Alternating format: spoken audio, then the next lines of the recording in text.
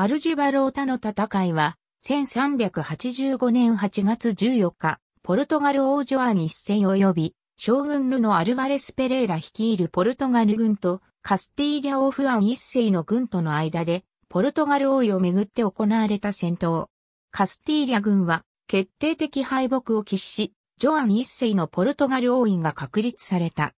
14世紀末のヨーロッパは、動乱の時代であった。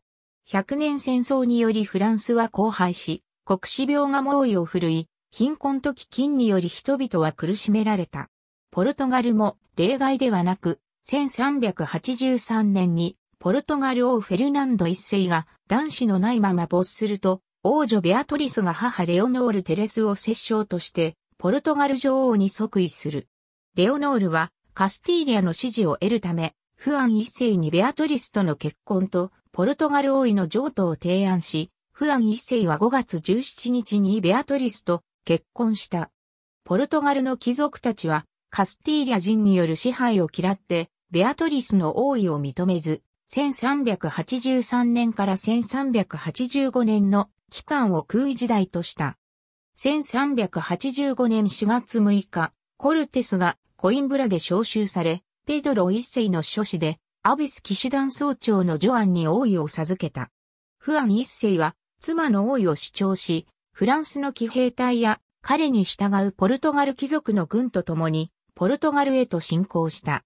即位後、ジョアン一世はベアトリスとフアン一世を支持する都市への侵攻を開始した。カスティーリャ軍の侵攻の知らせを受けて、ポルトガルの大将軍ヌのアルバレス・ペレイラもトマールの町でジョアン一世の軍に加わった。そこで彼らはトリスボンに近づく前に敵軍と対峙することを決定した。ジョアン一世はランカスター公ジョン・オブ・ゴーンとの娘フィリッパと結婚することでイングランドと同盟を結んでおり、イングランドの旧兵隊が援軍として派遣されていた。ポルトガル軍はレーリア近郊で侵攻軍を迎え撃つ準備をした。アルバレス・ペレーラは戦場としてアルジュバロータ近くのサンジョルジェを選んだ。サンジョルジェは小さく平坦な丘で、小川に囲まれており、ごく小さな集落が現在も存在する場所である。8月14日午前10時頃、ポルトガル軍は丘の北側にやがて敵軍の現れる街道へ向かって布陣した。14世紀における他の防衛戦と同じように、ポルトガル軍は以下のように作戦を練った。下馬した騎兵隊と不評隊は、長球隊と共に両翼を固め、彼らも自然の障害によって防御されていた。後衛には、ジョアニ一世自身が指揮する増援部隊が位置した。ポルトガル軍は、このように高い丘の上から敵軍の到着を観測することができ、急斜面によって前面から攻撃を受ける心配はなかった。ポルトガル軍の背後には最終的な戦場となる狭い坂があり、それは小さな村へと繋がっていたが、そこには大気平洋の複雑に絡み合った堀が作られていた。この堀を使った戦術はこの時に生まれ、以降イングランド軍には100年戦争で、ポルトガル軍には以降のカスティーリャとの戦いで広く用いられた。戦闘の経過カスティーリャ軍の戦兵は、昼食時に北から現れた。ポルトガル軍の強固な防御体制を見たフアン一世は戦闘を避け約3万の軍勢と共にゆっくりと丘を迂回し始めた。カスティーリャ軍の石膏は丘の南側には緩やかな坂があり攻撃が可能であることを報告した。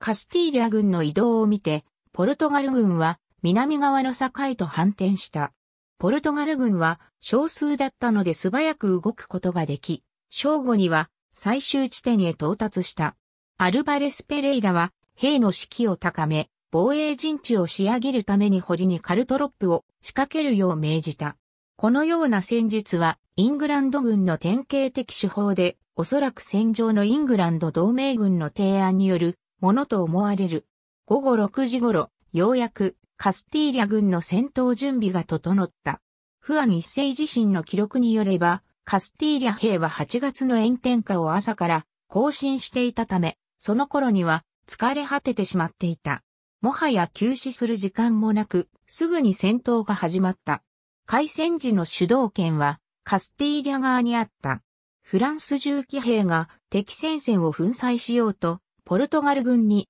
全力で突撃したが、ポルトガルの不評に接触する以前に早くも混乱に陥った。クレシーの戦いと同様に、防御側の旧兵と土兵、及び水路と堀に阻まれたためである。騎兵側の被害は甚大で戦火は皆無だった。カスティーリアの小詰めからの支援は間に合わず、生き残った騎士は捕虜となって、ポルトガルの公営部隊に送られた。この時点で、カスティーリャ軍の主力が戦闘に参加した。大軍ゆえに、隊列は非常に大きく小川に挟まれた小さな丘に無理やり侵入するため隊列を崩さざるを得なかった。一方で、ポルトガル軍は自軍を再編成した。アルバレス・ペレーラ率いる前衛は二手に分かれ、ジョアン一世は、旧兵と土兵を交代させて、自身が率いる後衛を前に出して分かれた前衛の間に配置した。全兵力が前線で必要だったため捕虜の騎士を見張る